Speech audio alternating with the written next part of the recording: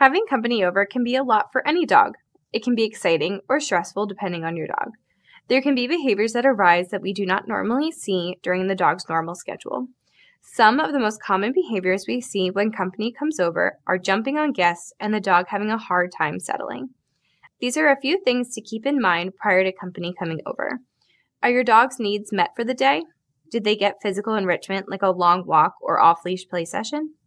Did they get mental enrichment like a treat puzzle, training session, or nose work games?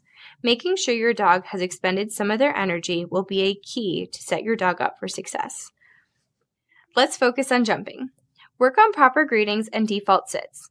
We suggest giving your guests some treats so that they can join too. Politely ask your dog to sit or four on the floor to start. The more your dog understands sitting and not jumping gets them something better, the less you will see the jumping.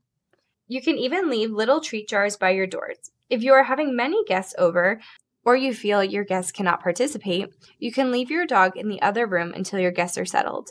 The less energy your guests are giving off, the less likely your dog will be to jump. The key factor here is working on default sits and proper greetings for guests. Let's first define what settling is.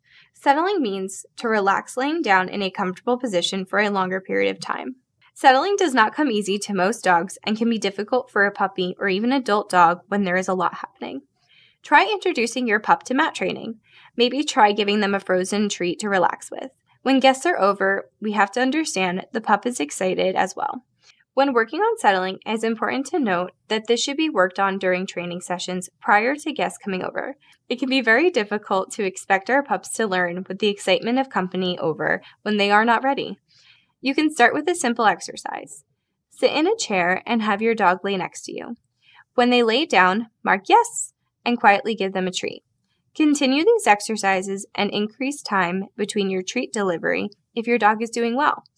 Over time, you can increase distractions while working on settling.